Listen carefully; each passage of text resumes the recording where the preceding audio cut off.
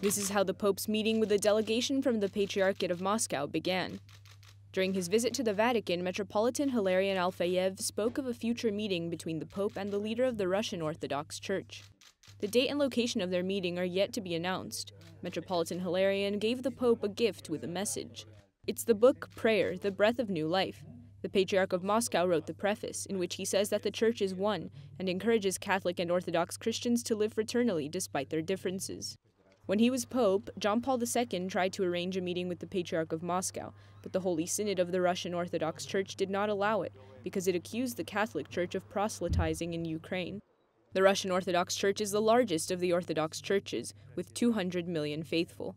Years ago, the Russian Orthodox Church broke away from the ecumenical Patriarch of Constantinople, considered the spiritual leader of all Orthodox Christians.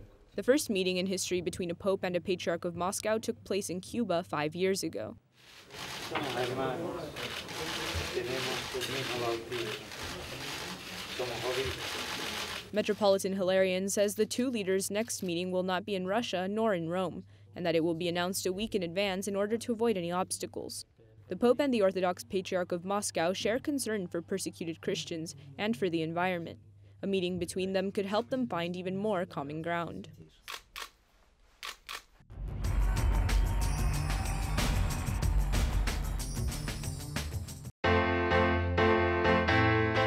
Would you like to see the Pope up close and personal? Download the Rome Reports app right now on your phone. There are versions available for both iPhone and Android, in Spanish and English. You will receive the best images of Pope Francis every day right to your cell phone, including his daily homily, his trips around the world, his meetings with global leaders, his acts of mercy to the needy, all this in a short and direct format, brief videos of one to two minutes, so you can watch wherever you are.